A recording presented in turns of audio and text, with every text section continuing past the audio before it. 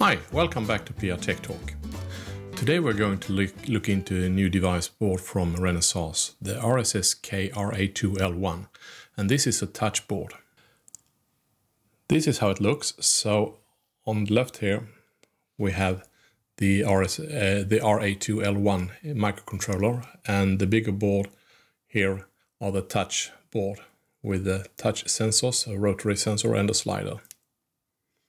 To start creating a project of this, we need to have the installation done from the very beginning, and that is the FSP 2.3.0. In the former installation, I installed both FSP 2.3.0 and also the QE Touch library. So take a look in on that if you don't already have. So if we go on to the project, we go new,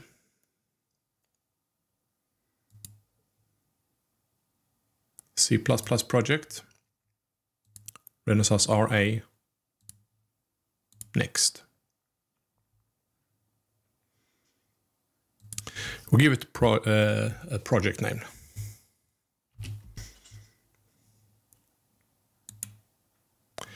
Here you can see which FSP version you have installed in my version. In my case it's 2.3.0 which is the requested one. For the board we're going to select the RSSK RA2L1 which is the one that I just shown you. We go with next, next again, and a bare metal minimal.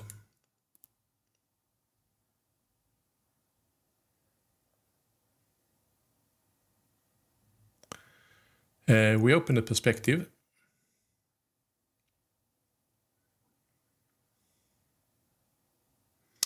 Okay, so now uh, eSquare Studio has opened and opened the FSP configuration menu for us. So you, you have the perspective up here in the right corner. You have the C++ and the FSP configuration and eventually we'll also have the debug perspective.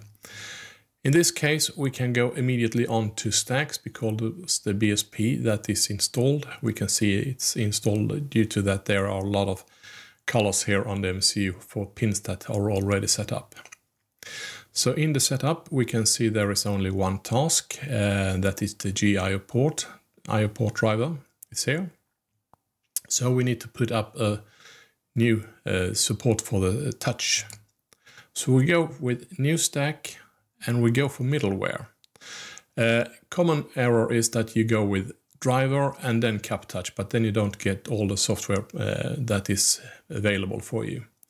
So in this case, we go for middleware and we go for CapTouch, CapTouch driver. For the driver here, it says that DTC driver for data transmission and for reception, recommended but optional. So DTC, DTC is a HAL module uh, for a high-level API for, API for data transfer application, and the DTC stands for Data Transfer Controller. So we would like to have this to uh, offload the MCU as much as possible. So to enable this, we need to hit this module and we see the settings, the properties in the common parameter here, support for using DTC. We enable that one immediately it turns red that there is additional configuration needed to do. So we hit this one and we add new and a new transfer driver on receiving and a new driver for, for the other part. So that is what we need to do uh, for setting up the touch libraries. So we create this project and we hit proceed that is done. So now we can try to build a project. And we can also change to this perspective instead. So it built without any errors or any warnings. So now is a good time to also do a small uh, change in the debug settings that we need for having this QTouch uh, to be working. So we go up here in the debug and there is a, a small button down. We go to the debug configuration. We go down here to Renesas GDB hardware debugging and underneath there there is a small tab. We hit that one and we go under the startup tab. And here we have a small uh, break set breakpoint so it stops immediately at the main. But we also need to hit this one, resume. We hit apply, then we can just hit close. So that change is set. Now we go up to Renesas Views, Renesas QE, and we go up to CapTouch Main Sensor Tuner. Now there is a small module open for us, uh, preparing us for this touch setup. And there is some steps, one, two, three, four. So we take it in turns. So to prepare a project that uses the touch interface, first of all, we need to select which project. And we use the one that we have created. And then we need to create a new configuration because we don't have anyone. Here we have a small menu and we have we're going to set up three buttons. So we click the button and we hit one, two, and three buttons. And we also need a shield pin, so we hit shield. So now we need to double click on the first one and this open up and it says uh, button zero and what we can do now is to mimic the, the silk screen on the layout. We can have the same name, so TSB1. And we need also to uh, tell uh, which electrode, which pin we are using. So in this case, we have the TS11 connected to that pin. And there is a resistance of 560 ohms uh, in series with a pin. So we do this with all of them.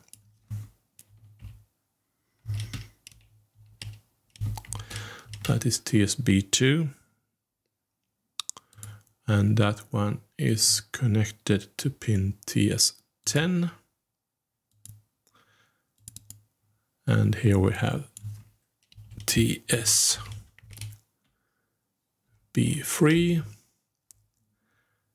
And that is connected to pin TS09. And we also have the shield and that is actually connected to TS00. So that is correct from the very beginning. Okay. Uh, so that is done. We create this one. And when we create it, we can see that this, if I can get hold of it like that, so uh, so we see the, the we have a configuration zero and we have three buttons and an electrode shield. And we have the individual numbers B1, B2, B3 and the shield zero and which pin they are connected to. So now we have done these steps and it's also now in this uh, configuration. So the next thing is the tuning. QE will automatically perform tuning process for each touch sensor to connect to the target board. To do this, we need to have the emulator and uh, the JTAG connected to the board. So here we have the RSSK RA2L1 board. And this board don't have any built-in JTAG debugger interface. So if you want to look into my other video on how to use an RS RA6 board as an JTAG interface, I have posted that before. So in this case, I'm using the RA6 board as a JTAG interface to the RSSK board. So now we go back to the tuning and the next step is connect the target board. We have done that. To start the tuning, follow the instructions on the dialog. Start tuning. So this automatic start, automatic tuning.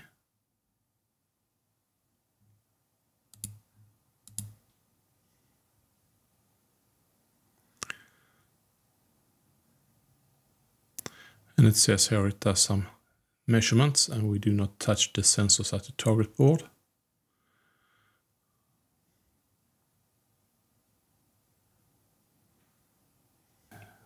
So now the automatic tuning process would like me to press TSB3. That value is sampled and now we touch the TSB2. That value is sampled and now we touch the B1. So that is done. Now we can see the there is a threshold value on all buttons and we can continue the tuning process.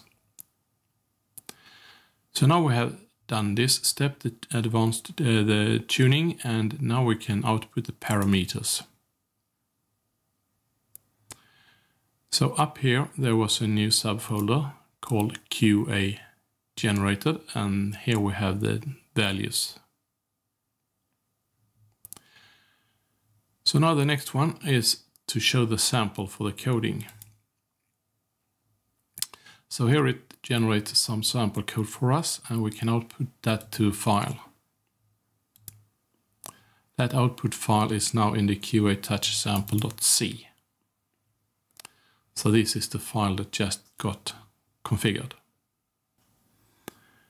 In this file QA touch samples we have a main call called QE touch main and we would like to call that routine from our application. So we go into the source file and the HAL entry C, which are, is our main file. And we put an extern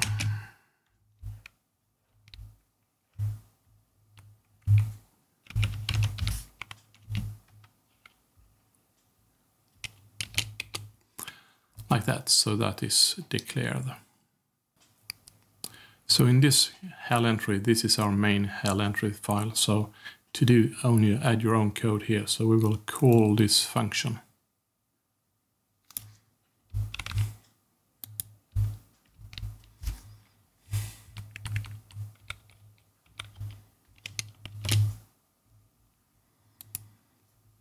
Like so.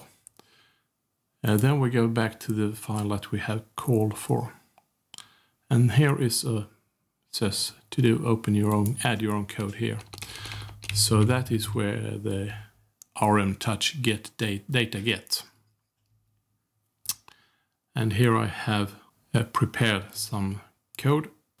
So here we have some added code. So it asks if button status and the config mask for the TSBS1, B1 uh, or the B2 or the B3. If any one of those are valid, then we will put the pin right pin level high on the uh, BSP port 3 pin 5 and that is an LED on the board. So whenever we hit any of these buttons, the LED will lit up. So we try to build this project. Zero errors, zero warnings, and we try to debug it.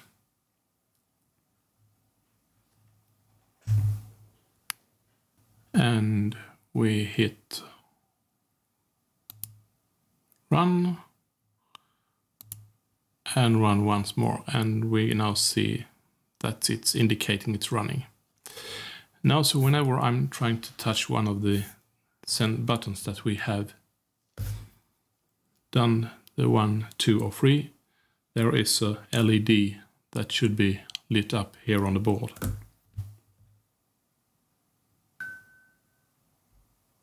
So there is the LED.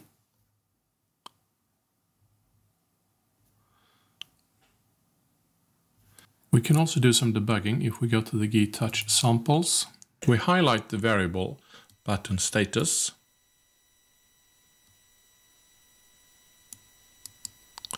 We right click on that one and we add watch expression. You can find it up here in the expression. We right click on that one and we enable the real-time refresh. We can highlight it and uh, do also what time period we should have it refresh. So we can turn interval there and 100 milliseconds could be correct. So if I hit the TSB1, I get the value 4 and if I hit the TSB2, I get the value 2 and the TSB3 I get the value 3 and if I hit the B1 and the B3 we get the value 5 so you can hit more than one uh, at a time. We can also go back to this uh, flow here. We came to the show samples, but we can also do some monitoring. So we can show views. And if we go up here to enable monitoring, so we enable the, the monitoring of it and we can hit. You see here the TSB free.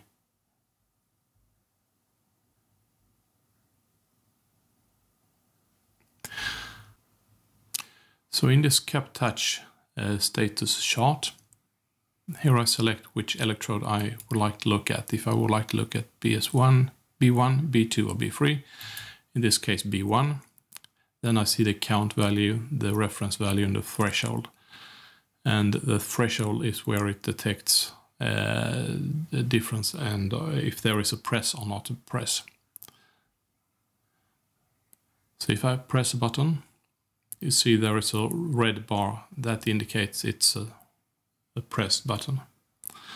And as soon as I, then it goes over the, uh, the threshold, the green bar. And then there is a press on the button. Even now I'm just outside the button. So I, I'm, I don't have a very firm press, but still it detects. Now I'm really over the button. Down here you can also have multiple. So you can have be a one, two, and also the three. So you can see all waveforms at the same time. How they interact with each other.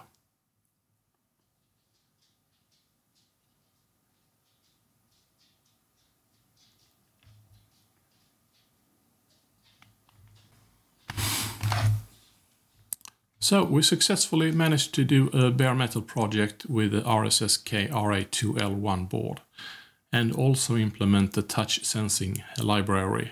Uh, get it set up, uh, configure the electrodes and also do some uh, low level uh, or light level debugging and just showcase some of the features and uh, tools available for you. Hope you liked it and uh, if you liked the video please like and subscribe and hope to see you in the next video.